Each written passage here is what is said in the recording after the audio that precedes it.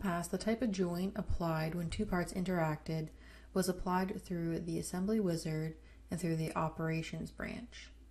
Now, the assembly manager has a connections option where you apply the type of joint and the connection needed. The connections that are available are created in our connection manager. Here you can create as many different types of connections as you would like by clicking our down button and saying connection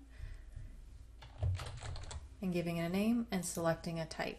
You will notice that there's a, a new option here for a type of operation called mortise and tenon. In the past we saw blind dados, um, but now we actually can do a true mortise and tenon.